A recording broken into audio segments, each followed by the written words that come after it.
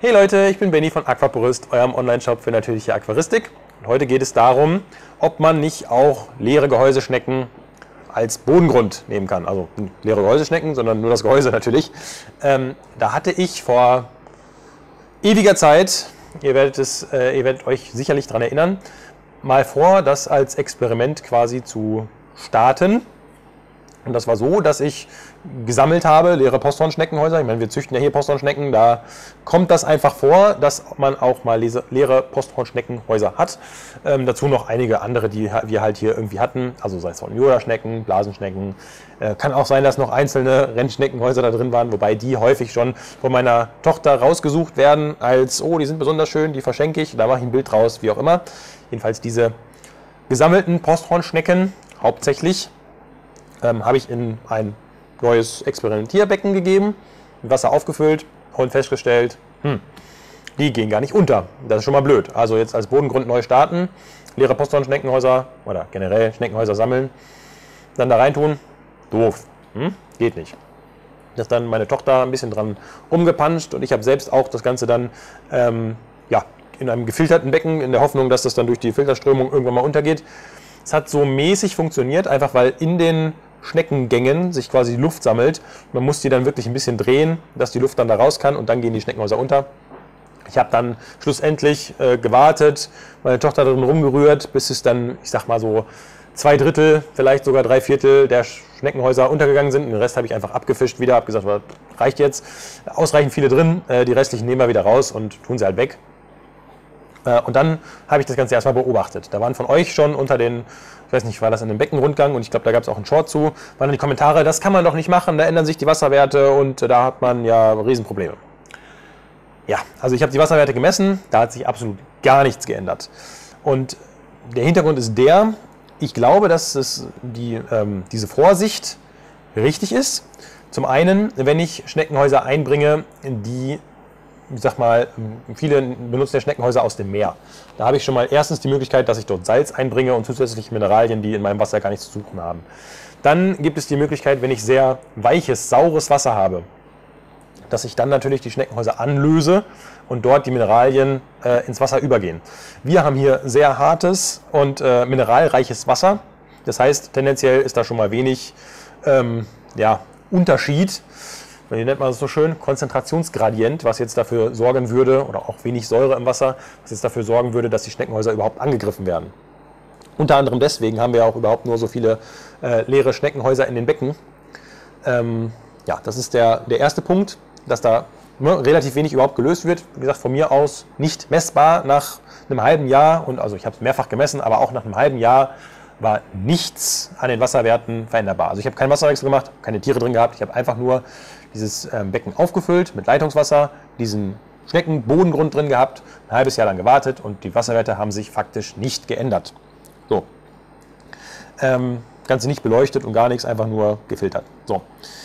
Dann ähm, ist der nächste Gedankengang. Ich habe ja auch verschiedene Kugelfische gehalten und die fleißig mit Schnecken gefüttert. Und da ist es einfach so, wenn man nicht ständig hinterher ist, die Schneckengehäuse rauszunehmen, dass sich auch da mit der Zeit quasi ein Bodengrund aus Schnecken bildet. Auch da hat sich kein Wasserwert irgendwie geändert.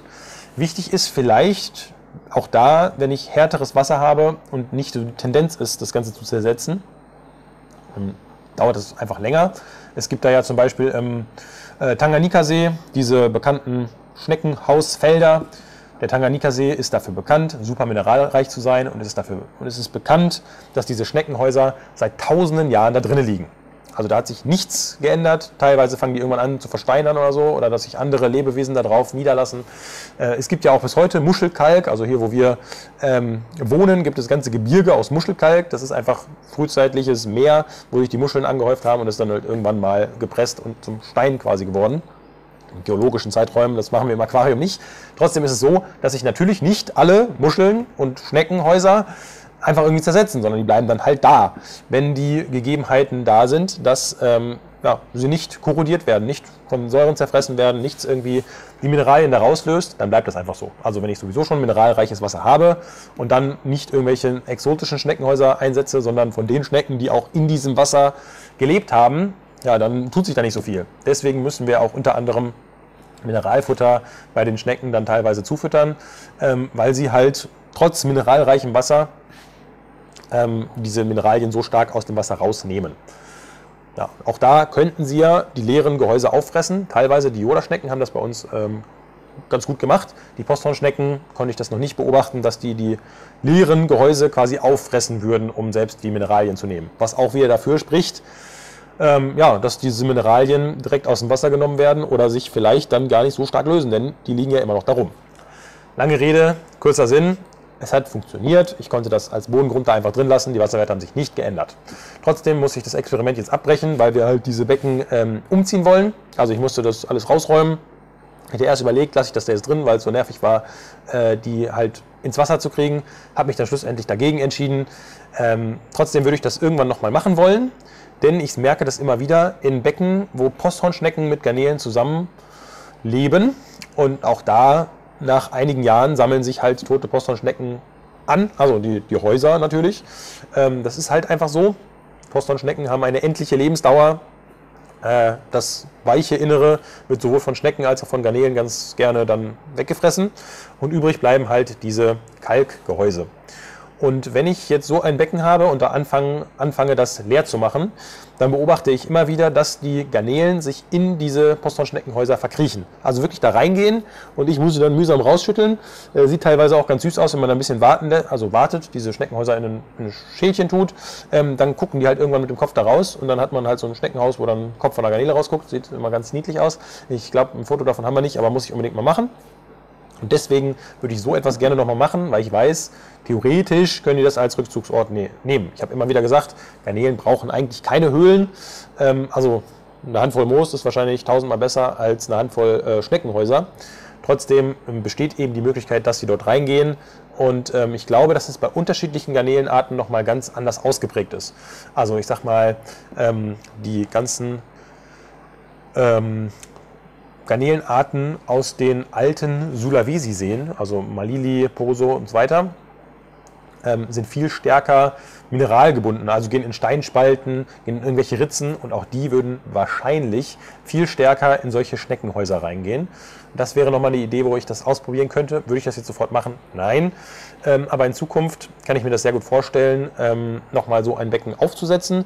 Ich habe da auch nach meinen Tests überhaupt keine Bedenken, solange man das jetzt nicht in irgendeinem sauren, weichen Wasser macht, sondern in ja, ordentlich hartem mineralischem Wasser, ist da eigentlich nichts zu befürchten, dass da jetzt, wer weiß, wie die Wasserwerte ähm, verändert werden. Wie gesagt, ein halbes Jahr lang gut durchgemischt, ähm, gefiltertes Wasser, nichts passiert, nichts Messbares. Ähm, ja, hat das jetzt irgendeinen Vorteil? Wachsen da irgendwie die Pflanzen besonders gut drin? Mit Sicherheit nicht. Also da müsste man, wenn man Pflanzen haben will, auf jeden Fall Töpfe einsetzen. Ähm, hat das sonst irgendwelche Vorteile? Das wahrscheinlich auch eher nicht. Im Vergleich zu Kies kann sich da viel mehr irgendwie Detritus drin absetzen in den Schneckenhäusern noch, was dann wieder ähm, ja, zu solchen Todstellen quasi führen könnte.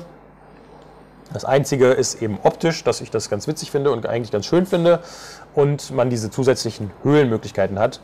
Ähm, ob die genutzt werden, steht auf einem anderen Blatt. Ähm, ich fand es trotzdem ganz ansprechend und werde es wahrscheinlich irgendwann nochmal ausprobieren. Zu diesem Zeitpunkt werden wir dann auch nochmal ein eigenes Video zu machen, aber naja, trotzdem Abschluss und weil viele immer gefragt haben, was ist denn jetzt damit? Ähm, das kann man doch nicht machen.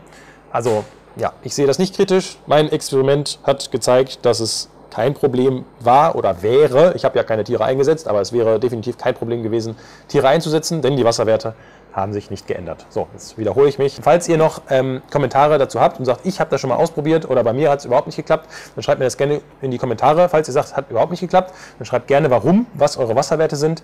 Ähm, denn ich wüsste jetzt keinen, der sowas schon mal ähm, zumindest öffentlich ausprobiert hat und wenn, dann immer nur mit solchen Meeresschnecken oder auch Weinbergschneckenhäusern oder so, irgendwas, was halt nicht in dem Wasser aufgewachsen ist, wo es dann auch wieder gehalten wird. Ne? Das war quasi die, ähm, das Fazit dazu. So, genau. In dem Sinne würde ich sagen, bis zum nächsten Mal und ciao.